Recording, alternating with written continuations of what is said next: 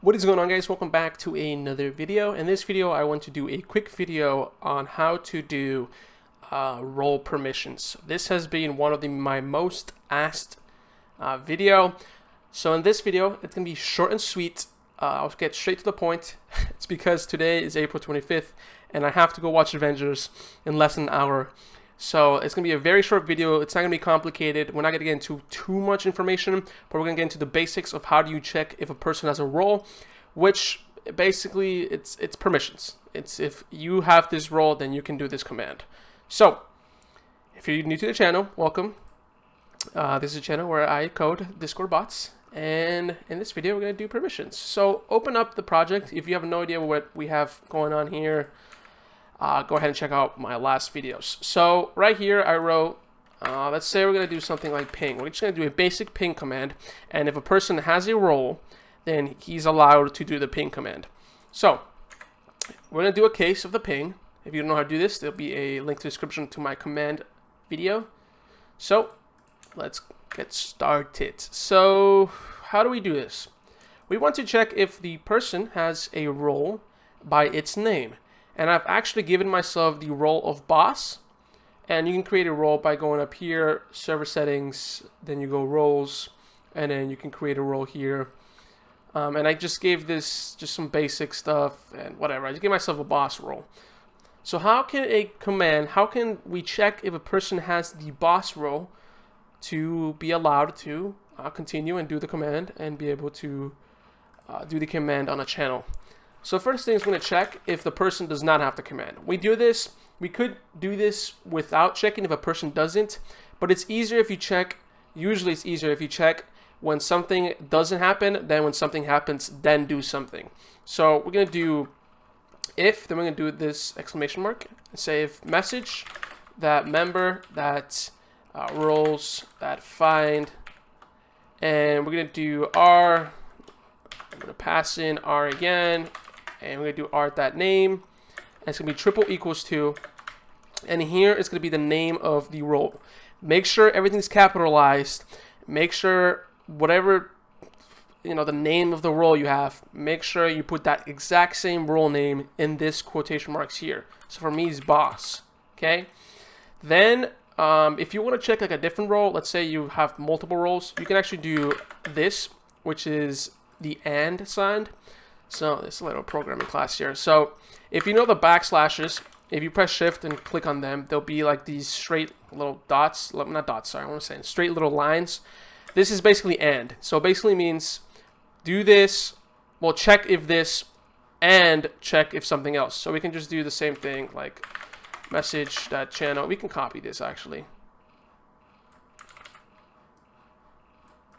There you go. So we can do that. That means, and we can do something like uh, Carl, I don't know. So that means we can check for this. Well, if someone does not have this role and someone does not have this role, then continue. So we only have one role that we have to check. Let's do that. Then we're just going to do a return and we're just going to do message that channel. Uh, message, I can't type. Message the channel that's send. Let's search. Why can't I type send? Uh, and we're going to say something like you do not have permissions. Something like that, whatever. And then what this is going to do is if someone does not have the, the, the role boss, it's going to return by sending a message to the channel saying you do not have the permissions. So, uh, we continue on. And oh, I messed up here. There we go. And then after that, it's very simple. You just do whatever command you want to do. So if you've been checking my last videos, and if, we, if you're you know creating special and cool commands, then after having this small little line here, all you have to do is uh, just continue on. So we can just do message that reply, and we're gonna reply pong. Very simple. And let's just run it. No space dot. The bot is online let's come here and let's type ping and the you know the bot responded pong. That's because I have the role of boss. Now if I actually remove this role so I no longer have the role boss and I do ping I was gonna say you do not have permissions. So that's basically how you do permissions. It's very simple. It's literally one line. There's another way you can do it, and that's without this. Um, so you can do something like, if you're more used to doing something like this, then this is the same thing that we just did. But as you can see, just having that uh, exclamation mark makes it so much simpler and easier than writing this, which is just if it has a role, do this, else send a message. But again, it's just simpler just to have that little exclamation mark there.